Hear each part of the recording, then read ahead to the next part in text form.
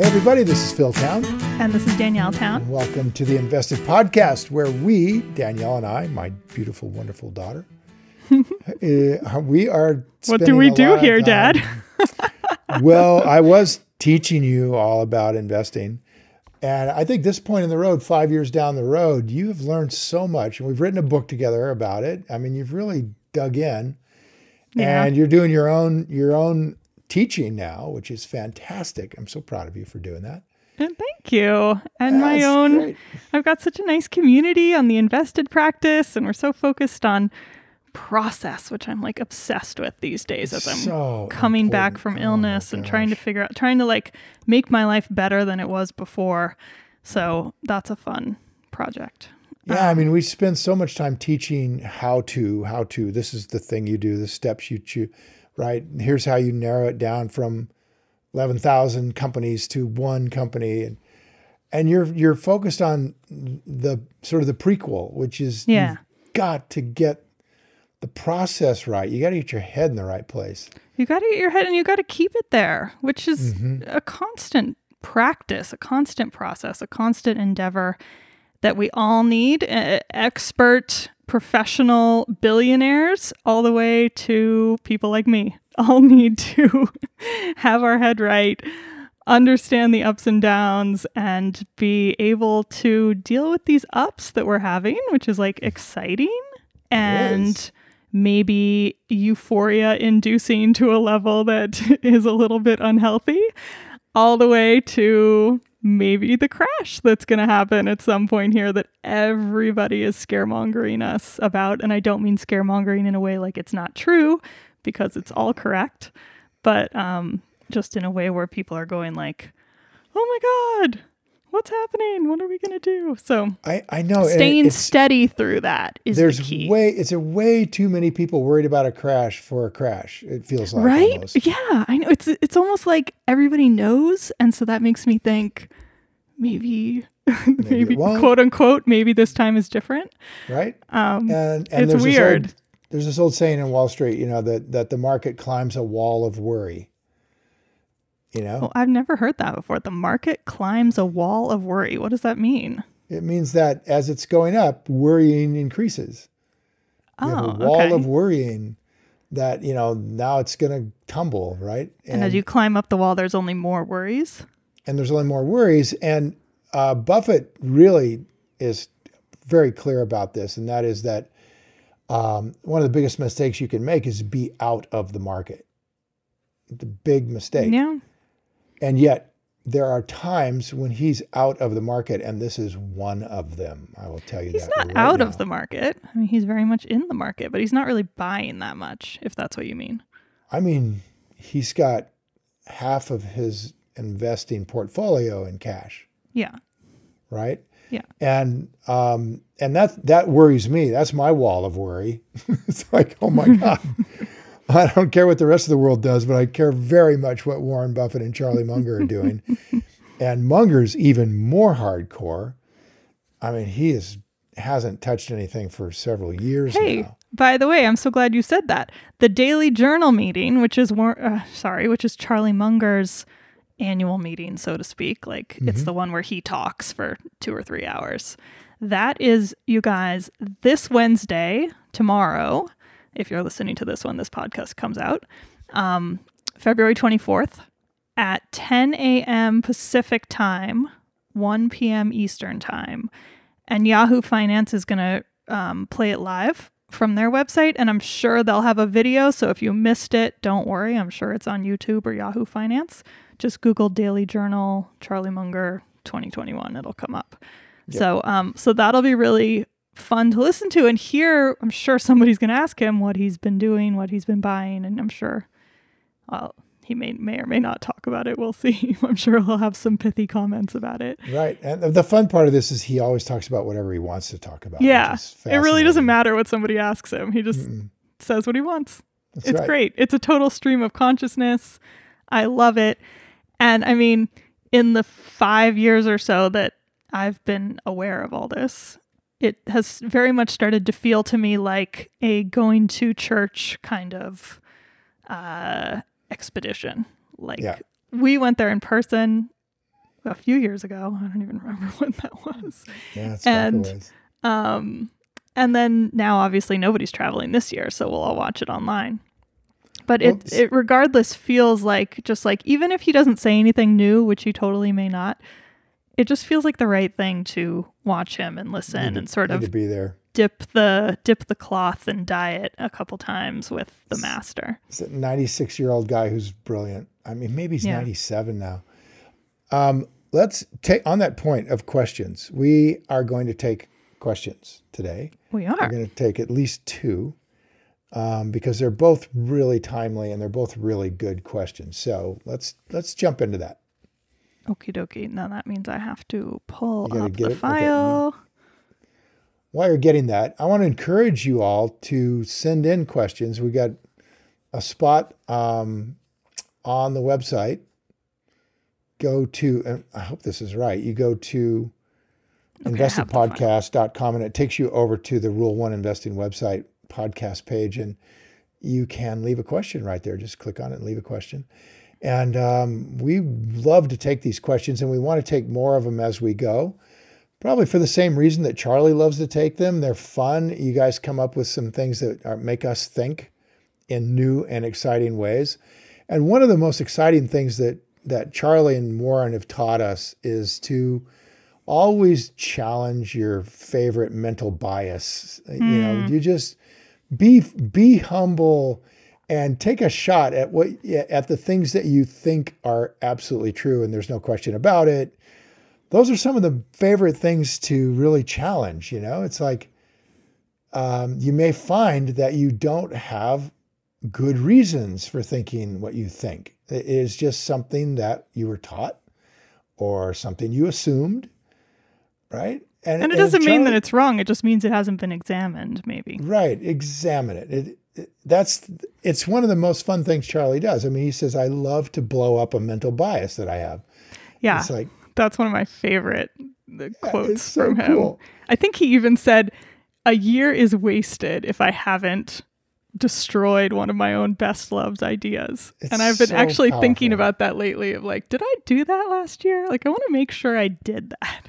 And it's I think it's so important, you guys, because it's very easy to get religious about our ideas. And by religious, I mean they become dogma. They become an unchallenged view of the world that, oh, this is this is just true and absolute. And here's the problem with that. And uh, uh, first off, the problem in the in the rest of the world is that you can't hear somebody with a different idea because they're a heretic right? I mean, if you've gotten religious about your own ideas to where it's dogma and it's right and it's truth revealed, then just like any religion, someone who is like, no, that's not the case, you know, uh, that is heretical. It is not just an argument we should have. It is not an argument we're going to have because I can't have that argument. It's it's heresy to think what you just said. That's the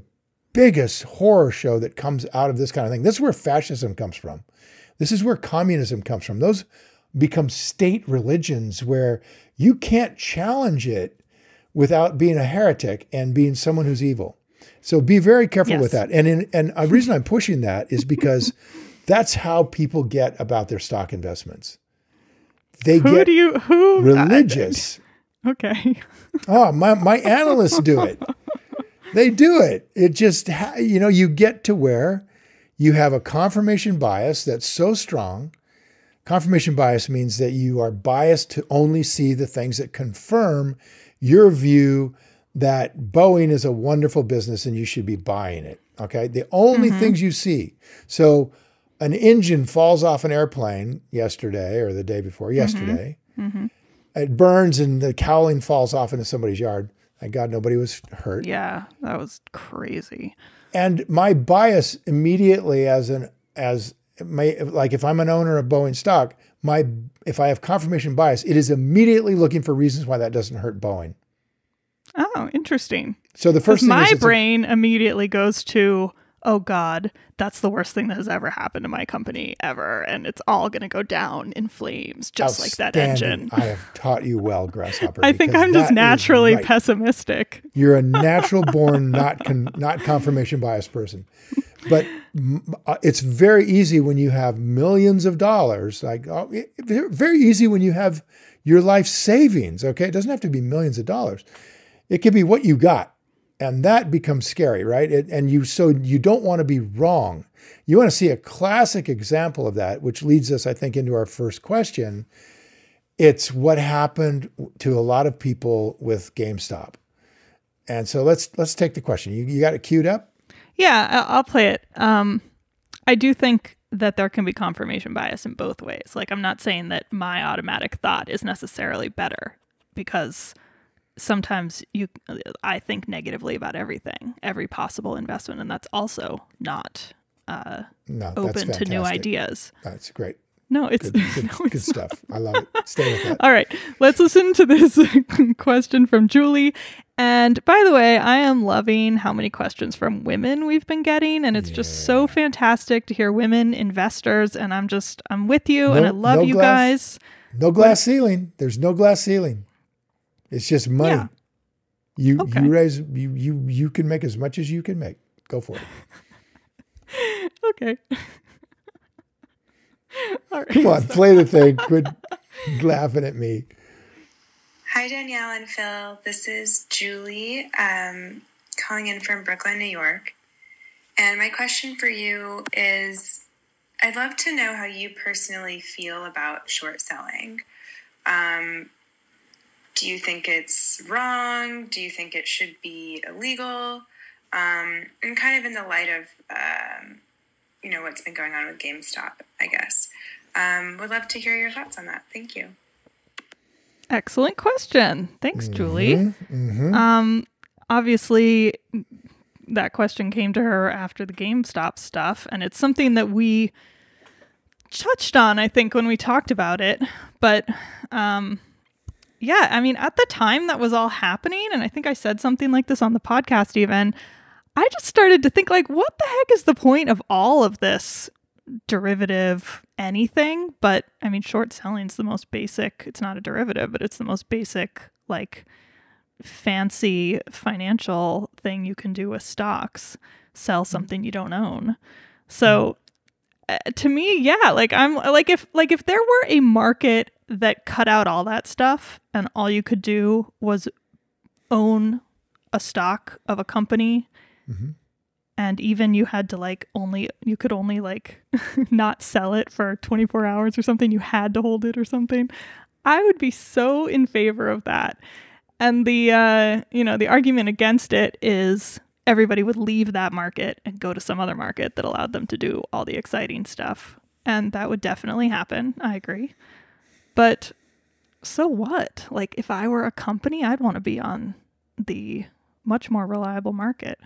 But it's never going to happen. But yeah, I think it'd be great to have a market that didn't have that stuff. What do you think?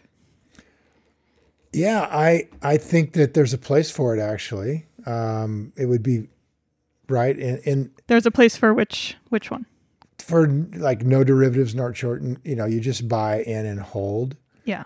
which exists in the private markets, right? That's Yeah.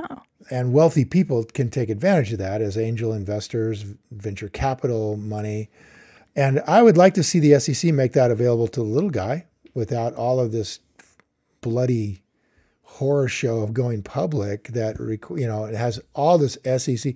It's like they big brother you to a point where you don't get to be able to do that. You can't do that as a little guy because you've been big brothered by the SEC, who's determined that they you know so little about how to manage your own money that you'd be easily taken advantage of if it wasn't for the SEC and all the regulations that I mean, they that's- provide. Often And- been literally true. It's sometimes literally true, um, although uh, uh, many times people invest in companies like GameStop, where the SEC has full, and you know they got the whole thing going on, and it still goes bonkers, right? So Yeah, but that's exactly what her question is. It went bonkers because people short squeezed this insane level of short selling that was on that stock. Okay, so let's take it piece by piece. First off, short selling. Let's define it real quick. Okay. You go. Short selling is when you sell a share of stock that you either do or do not own. And the literal process of that makes no sense to me. Oh, that was excellent definition. That is horrible. That was horrible. okay, let me try. You try. Oh my gosh. All right. Short selling is just borrowing a stock, a public stock. But you don't always have to borrow it. That's the thing. You can short sell stock you do own. Well, you're essentially, oh, you're telling the broker to not sell your stock? Of course he's going to sell your stock. He's going to sell your stock. That's not short selling. Yeah, it doesn't make any sense. Well, that's because it doesn't There's a exist. covered there's such a thing as a covered short sale. Um, No? not, not that I'm aware of. Maybe there is. I'm going to get a lot of mail on that one because Or maybe there isn't, but I'm pretty sure there is. don't Okay. think so. Continue with your explanation. Okay, so what happens when you there's a short sell is that someone who doesn't own the stock borrows it from the broker and had the broker sell it, and the broker holds the money from the sale. So if you short sell ABC company, Mhm. you borrow the stock from an existing shareholder who's agreed with the broker to take a small interest rate in exchange for lending out the stock. hmm All right. And the broker then lends this short seller the stock. And now the short seller has control of the stock, sells the stock, the broker does, and then keeps the money. Yes. Okay. The broker keeps the money. So now the broker has $100 a share waiting. That's not the broker's money. The broker has to get the stock back. The money belongs to the short seller. And it's mm-hmm. just a hedge, uh, or say it's a insurance policy against the broker not getting the money back. All right. So now the short seller, in order to make money, has to buy the stock at some point in the future at a lower price than what they sold it at. So if they buy it at mm-hmm. $50 because it goes down, then now they've paid $50 per share. They turn the stock back over to the broker and the broker hands them their $100. And they just made $50 on a $50 investment, plus whatever they paid in interest rates to borrow the stock because they're paying they're paying for that. That's a short sell. Now what went off the rails is that Wait, wait, before we go into that, let me just say that I just Googled it and there is a covered short, but it's after you do the borrowing. So it's actually like cov that's when they use the term covering.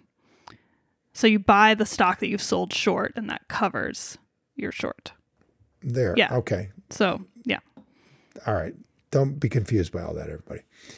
No, no, I was I'm saying I was confused. So you're covering your short. Yeah. That's called covering your short, not a covered short. I guess covered short is what you call it after you did it. But I Wikipedia has an article on naked short selling, which is what made me think that there is a a different kind of short selling. All right, this uh-huh. involves some research. Clearly, I mean, short selling is naked. That's what it is. I know. I, okay, I, I don't.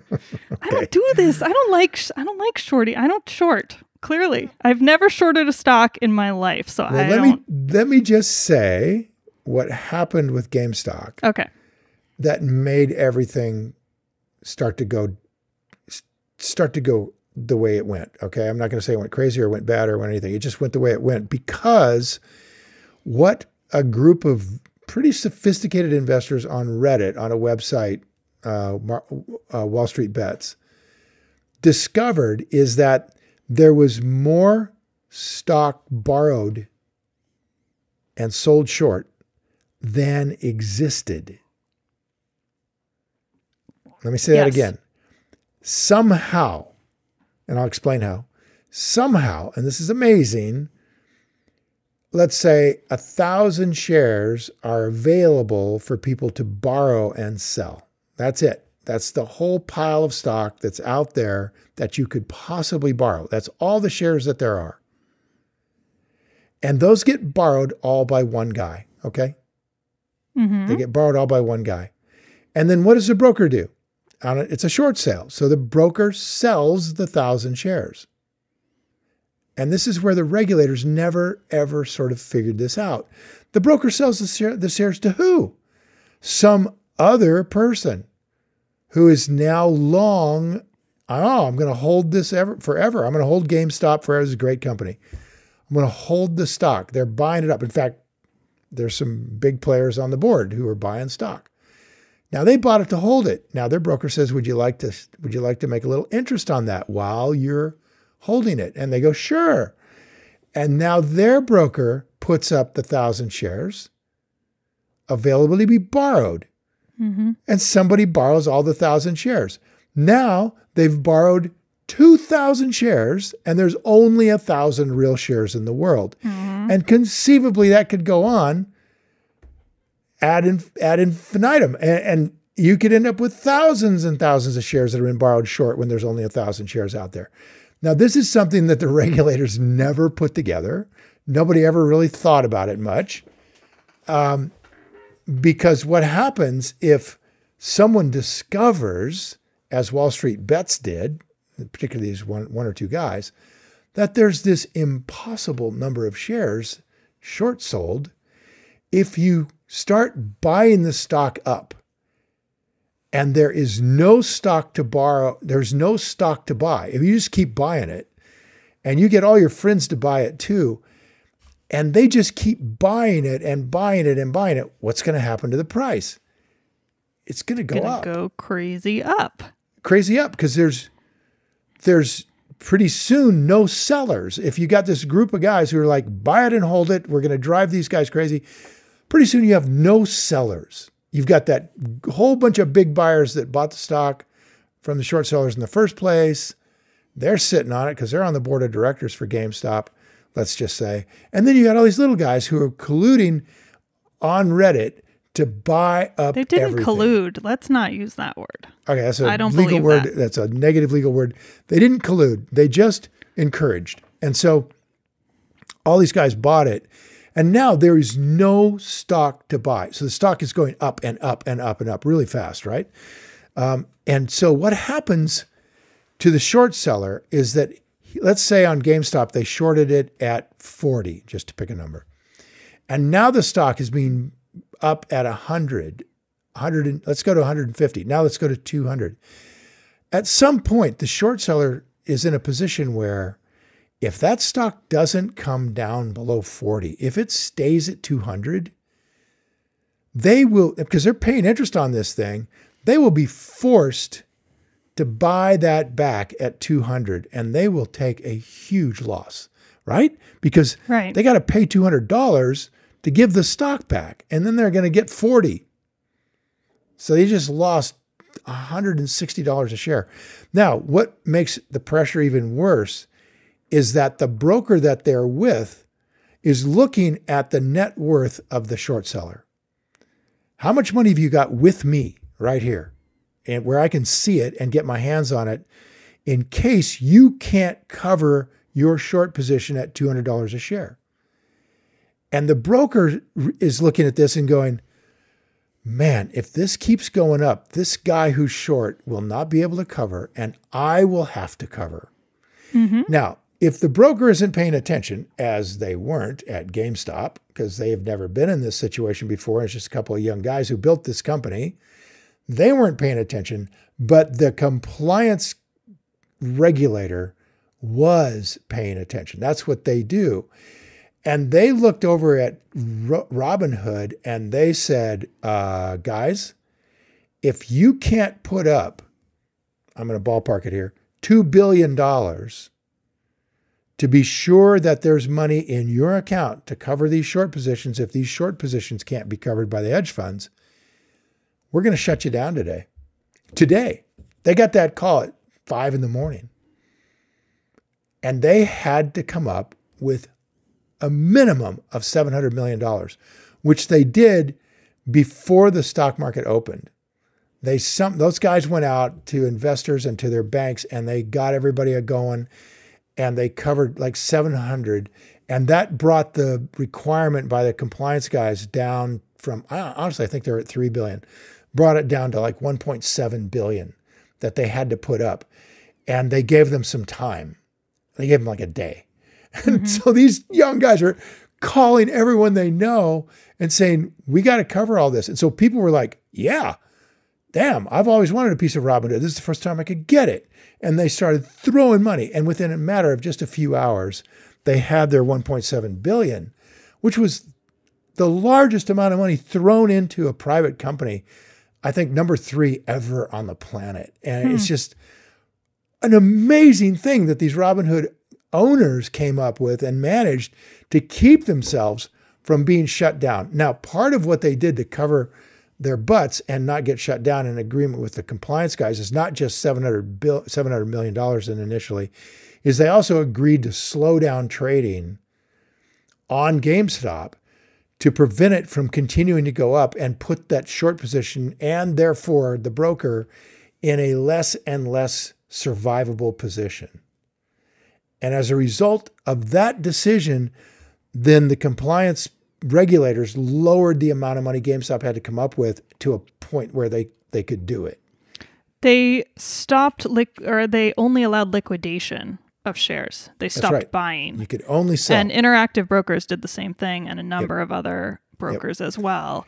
And there was this huge controversy that it was all like a conspiracy against the uh, small individual investor who wanted the, to buy the the, stock. brokers were having a conspiracy. Uh, well, I mean, yeah, that's an that's an idea that's out there, and Right. it, it's not that. It's that they were, as you just said, they It were was- forced to do this in order to literally be able to clear the trades that were Yeah. happening because they did not have enough money in the background. it- it Let's do get back to. Julie's question here. Okay, so that was What that do was a you long thing. think about short selling first thing and is you- you in general market deri- deri- but specifically shorting? She asked. All right. So the first thing is that this is the same idea, the same general idea of the idea that you can have more people having a right to something than exists, than Yeah. the thing exists. Okay. Yeah, yeah, yeah. That idea is is a nuclear weapon in finance. And that means there are some derivatives which are extremely dangerous. And those same kind of derivatives, having more people have access to a thing than it exists, is what caused the financial freeze in 2008. Mm-hmm. Same exact thing, except in this case, it was mortgage bonds that were insured, and then the insurance was replicated multiple times by synthetic insurance. Mm-hmm. And no, the regulators, it's just so sophisticated, and these are these are smart people who are regulating. It's just they've never seen it before. And if, I mean, look, I'm learning to drive a race car, okay, and driving a little sport Boxster, a little slow race car. And I learned all my lessons by finding out, oh, I didn't know that would happen. Right? It's like on hindsight, it's pretty obvious. If you drive a wheel off the road, you're going to crash. Yeah. But you, you don't know that till you you don't understand how it's going to happen until you actually probably do it. You can theoretically understand it, but that's just the same thing with regulators. If they've never seen it before, it's very hard to regulate. It's hard to think so of it. what do you think? Should we have shorting or not? Yeah, shorting's very important. Okay. So shorting is very important. And the reason shorting is very important is the same reason that wolves are very important to a caribou herd. or oh, this is an elk herd. excellent point. I completely agree with you. Go ahead. I know I, I'm I'm with So you it's an 100%. it's an ecology. The market is an ecology of sorts, and it has to have balance. Mm. And and that means that there have to be, uh, like a caribou herd needs wolves or an elk herd. We lived in Jackson Hole. The elk herd does better with wolves because much better actually. much better. It turns out much healthier animals. Much healthier. and The you have the right ecosystem is number of healthier. them in the ecosystem. And if you don't have the wolves, what happens is you have a bubble in the food supply. You just everybody eats. Everybody eats until all the food is gone, and then the bubble pops for the elk, and they all starve to death. The entire herd gets wiped out. Or they get some disease and they all get wiped out. So the, the a, a balanced ecological system in finance in the markets need to have the wolves. And what the wolves do is they ferret out the liars. Mm-hmm. They ferret out mm-hmm. frauds and failures and fads. They look to find the weak Yep. and they slaughter the weak. Except they're not the weak. They look to find the cheaters and the, The liars. cheaters. Right. and the people who are doing really shady, nasty things to other people. Right. They look for those people, and I just you're I, I you're so right, and I completely amend what I said earlier. You're so right. We need to have people who are incentivized to do that's all about incentives, right? So we need people who are incentivized to actually do that work because you're right. If we went with my previous idea of like long only happiness, it would just constantly be in- an incentive to buy and buy and, And an incentive to cheat. Nobody is going to notice. Yeah, I don't well, have hopefully any- you have other ways to notice. But yeah, I think Well, the where the to notice- regulators where the regulators fall down is where the, the market comes in and steps up because there's an incentive to do so. There's a huge incentive to do so. You get a you, you can make millions of dollars. And of course regulators don't have that incentive. So they're and they have so much more that they have to regulate that, that look at than just is this company a fraud? Because there's a basic assumption among all regulators that well, it made it as a public company. The board of directors says it's good and they're responsible as a fiduciary. So as long as that's going on, you know, they're not going to dig. It's just that's just not what they do. So now we need wolves to dig. Now here's the problem. These wolves are really smart wolves, some of them, and some of them are willing to take advantage of the bankruptcy courts, which have the bankruptcy courts have become bankruptcy court. yeah. I mean, here it's a deep hole, but let me just say real briefly that the bankruptcy courts, in my opinion, have be, have become a place where hedge funds uh, can take advantage of the courts trying to keep people employed as Yeah. their number one priority.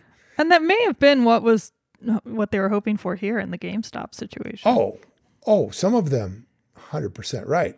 yeah. In other words, what what Danielle was talking about is that they were hoping by shorting the stock um, to profit from driving the company down to a point where its stock wasn't worth very much, and because of the the publicity that it's a bad company, and then have management take refuge in a Chapter 11 filing, which is a bankruptcy.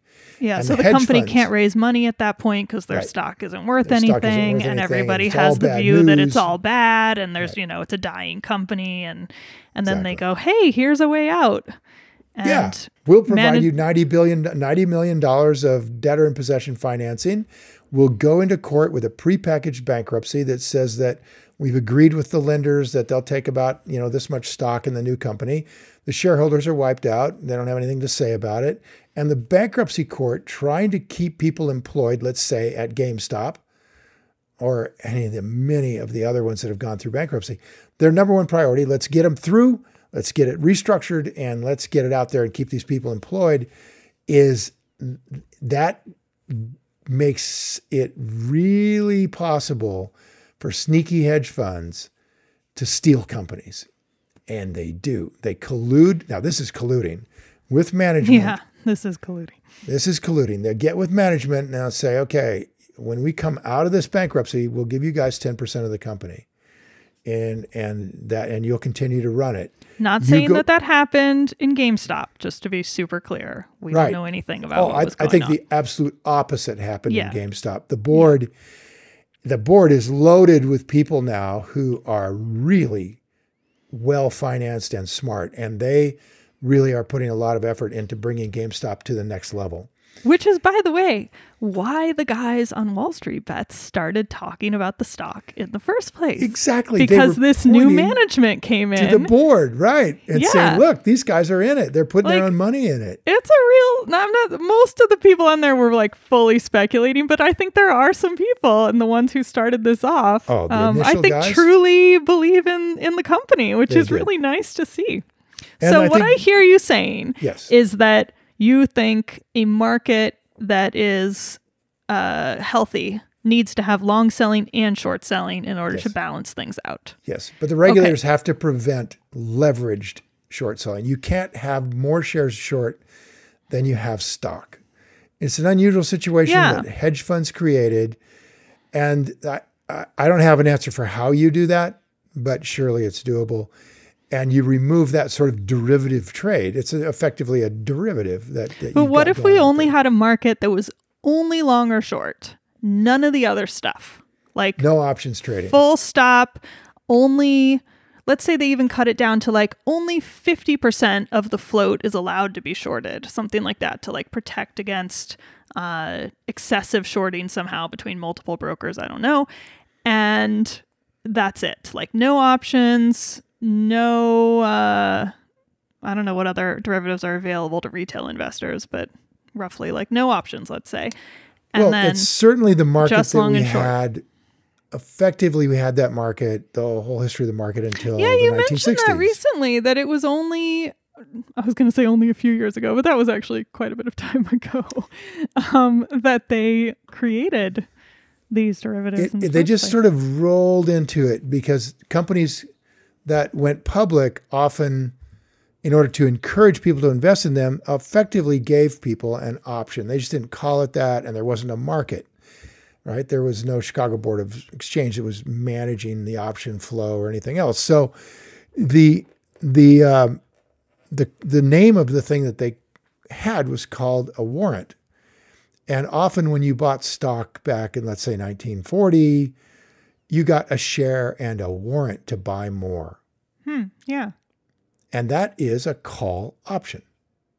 A oh, warrant a, a, warrant is a long call. So you get it you get the right to buy more let's say you buy your first chunk at $60 a share and now you have a warrant to buy more at $70 a share mm-hmm. or something mm-hmm. and now you have a right and there you go now whenever there's this this financial um, uh, entity which a warrant is a market's going to open up around it it's like, oh, you've got it's a really warrant. interesting. Yeah, I hadn't thought about it like this. I'd is like fun to, to like this is fun to like work this out. Yeah. Um, I'd like to buy your warrant. I'll pay you a dollar for your warrant. Right, right. Well, See? you could just not allow that, but then that brings into account issues of being able to have your investments I mean, be really? relatively liquid. I mean, really, you're not going to allow me to sell something I exactly. Own? That's what I'm saying. Yeah, right. that's that's not going to fly. Right. So you um, have to, you will effectively have a call option market. Well, and the other interesting part of it is that in high growth startups, warrants and options, which are just exactly like you just described, a call option to buy the stock at a certain price, usually extremely low because you're somebody who came in really early. Right. Those exist past when a company goes public. They're they're yours. They're your right. Even if a company, you know, has soared beyond belief and it's 10 years later, you still have your option from day one that you got as, you know, employee number two. And totally right. Like that's something that you I think would would devastate the entrepreneurial world if that went away somehow. So if you're bringing that in right.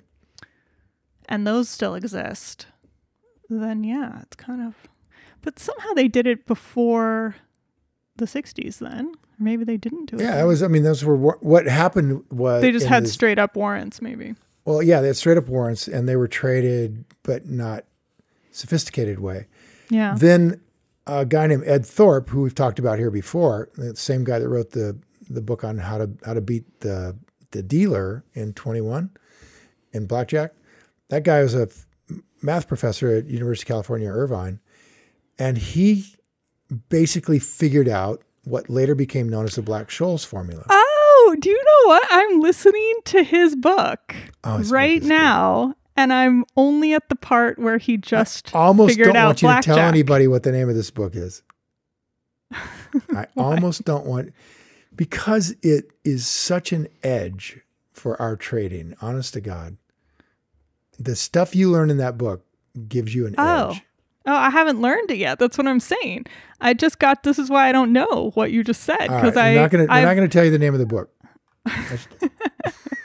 I've only gotten to the part where he just beat blackjack. When you're done reading it, we'll talk about this book. But right now, everyone it's forget such what a I secret. said. If we never tell you, you'll never you'll find never out. figure out Ed Thorp's book. All right, that that gives you a but little homework. I'm listening to it because I have a hard time reading these days, and I just discovered that that's a book I can actually listen to and like it's, comprehend, which is really nice for me coming back with. Cool. Yeah, so it's been interesting.